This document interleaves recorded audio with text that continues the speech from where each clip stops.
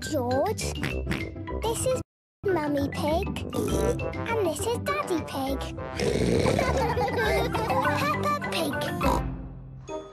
Science Museum. Peppa and her playgroup are visiting the museum.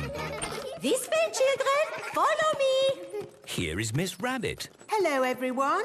Has anyone ever been to a museum before? Yes! Good. Then you know that in a museum you can look but not touch. Because everything in a museum is very delicate. Oops. Yes, these old things break easily. But today we're going to visit the Science Museum. Here you can touch everything. Yay! Buttons to press.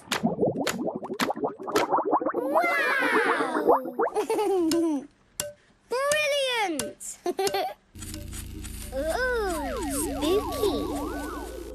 on that rope and try to lift the weight. It's too heavy! Now try that rope with the pulleys on it.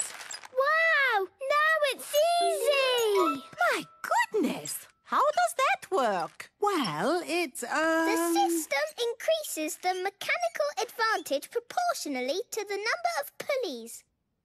Yes, that's what I was going to say. My little brother Edmond is super clever.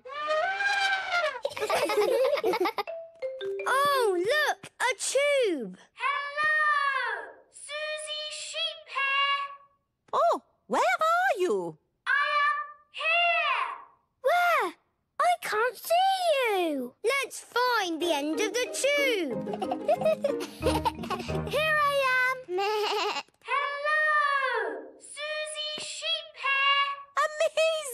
Sheep here! Amazing! Oh, maybe in the future this could be used for talking to people a long way away.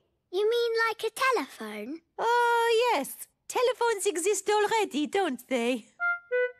Magic balloons! Get your magic balloons here! Are they really magic balloons? Uh, no, not really, but they're still pretty amazing. Want to see? Yes, please! All we need to do is rub it like this, and then...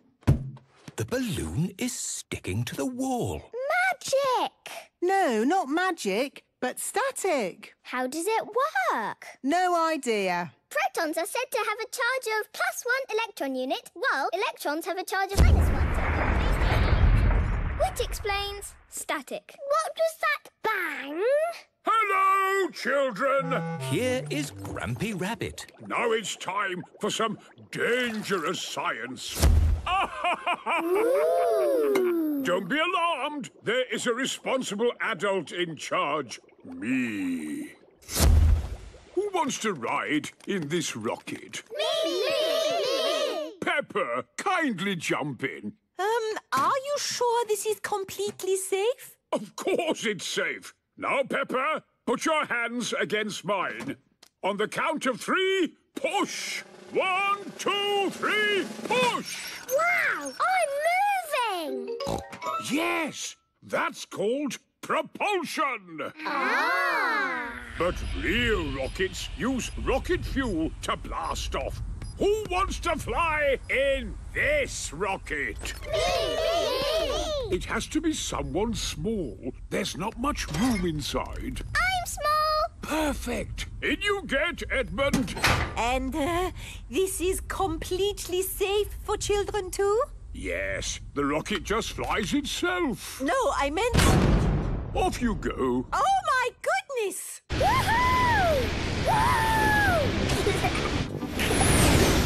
Lucky the museum has a high ceiling. And that is how rocket propulsion works. that was fun! It was brilliant!